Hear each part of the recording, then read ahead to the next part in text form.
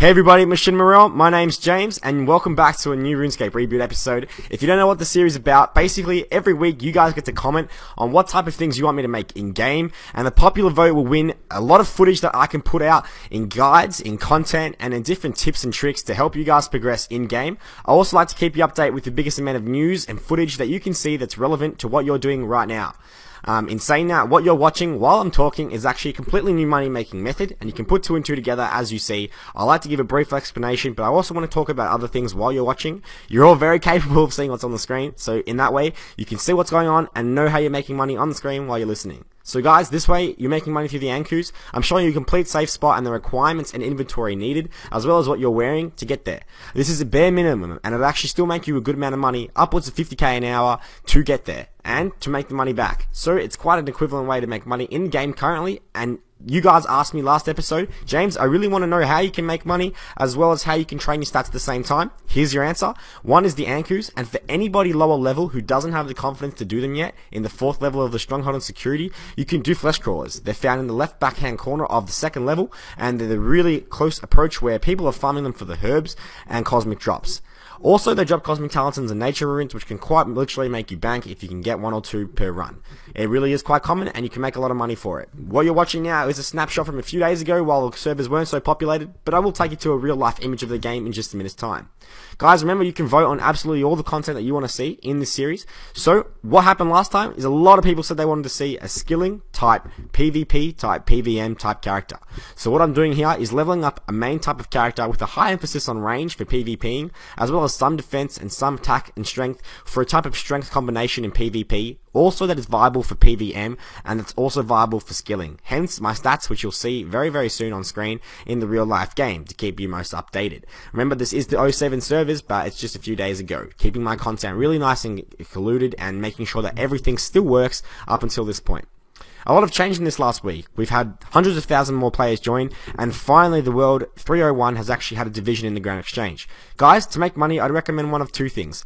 I personally made a method called the street flipping method in game, which you'll probably be seeing very, very soon um, in my own content on my own channel, which you can check out, and on Machinima Realm. I'll definitely put snippets in there. But basically, what you want to do is actually purchase an item for the lowest amount, and I'll go over this in the real game chat, which you'll now see here. And uh, what you can see now is actually how the game has changed and divided. And of course, the real method that I was talking about just then before I flipped over clips is the actual changing of street flipping, which, in, which what that means is that you can actually go to one world, preferably 301, and buy an item for the lowest amount of price, and then actually resell it for the highest amount of price in a different world. I find that the different worlds work better because there's actually no set areas designated yet on anything other than 301. So to the right of the of the of the bank, in which you'll see on 301, just a minute, I'll take you there now. So you can see what type of bank I've been making from the Ankous in my current um, inventory, plus my current stats, just from training from that Ankou run to this Ankou run, so you can kind of see how I'm going. Um, and basically, guys, what's working out is um, the people have designated areas in the Varrock um, bank that you can actually go ahead on one side and go ahead on the other side um, to sell different type of items. It's like a designated zones. So to the right, which I'll take you to now. You can see how they have magic items. To the left, they have armor and whatnot, and then to the left top corner of the um of the uh, bank, sorry about the stutter, you will definitely see how people are selling rares and type of armor. So we're here now, and you can see that in this area, because it's not that populated, um, this is where in 301 people would be selling the magic um, runes and whatnot.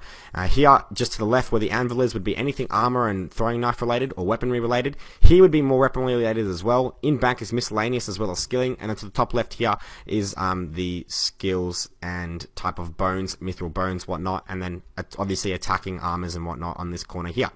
So, another method I would like to produce for you guys while you're not making skills, however, is to actually buy an item at, let's say, and I love this example, is iron knives, because I make quite a lot of money off iron knives. So iron knives are thrown. And the reason people the the, flash, the price um, fluctuates is because it takes five. It takes one iron bar to make five iron. Um, knives, and each iron knife typically goes for about 10 GP each, but each iron bar typically goes for 70. So for each bar, you're actually losing 20 GP making the iron knives. So it's actually not viable for you to go ahead and make them yourself. The best way in that case is to go ahead and buy this, the iron ore and either smelt it or buy the knives and then resell them to people for extra profit.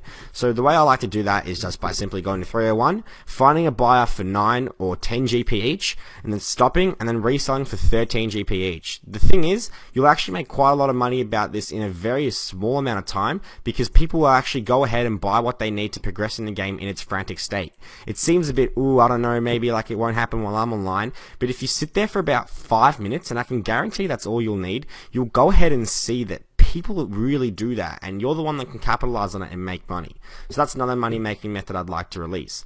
The next one would be your type of skilling. If you haven't already seen it on my channel, thieving in Ardougne will give you money by following the type of stalls, chests, and, and other assorted items that you can steal to resell to the public. My favorite would be the blood runes you can get from the Chaos Druid Tower, or at my own level, the level 28 upstairs Ardougne and Relica Nature Rune. The Nature Runes sell for 140 GP each, and you can make a lot of money from them.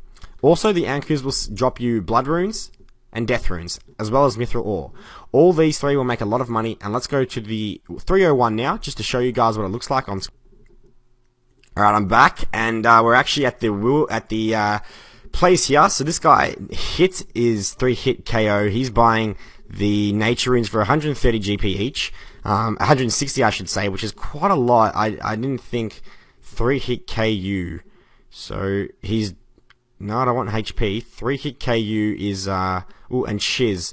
So the price has actually rise, risen, I should say, in, um, Nature Runes. They were at 120 each a few days ago, so with the Ardougne method, I actually really recommend it now. I was a little less heartily recommending them in the past, but I am now.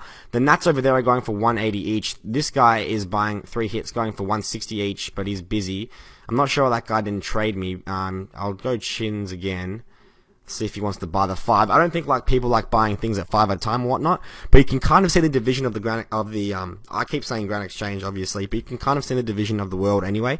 Um, this guy's going 65 each. He's buying all natures, so as you can see, there's quite a lot of demand for them, which is great for me. That means I can just go do maybe one hour a day of um of Ardougne um, thieving at a low level. It's only 20, 28 with no lockpick requirement or anything. You can just pretty much lockpick the door and walk on in and make a good amount of money. So 5 made me just under a K. 5 takes a very, very low amount of time and you can see how you can make quite a, a lot of money from it.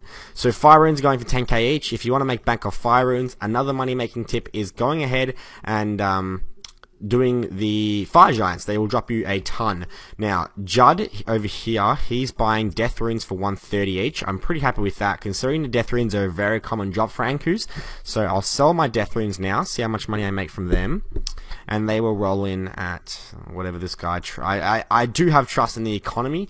If it's quite a low, minuscule amount of money, I'll I'll probably just decline. But 14k, I'll be more than happy with. So bang, I've just made it. Then probably half an hour worth of Ankous, and now I've got my blood runes. So blood runes are quite expensive, and a very very good common drop is pure essence from the Ankous. Guys, you can't really lose from them. I love the that the fact that I was able to put them in a video because you really can't lose from them. It's great.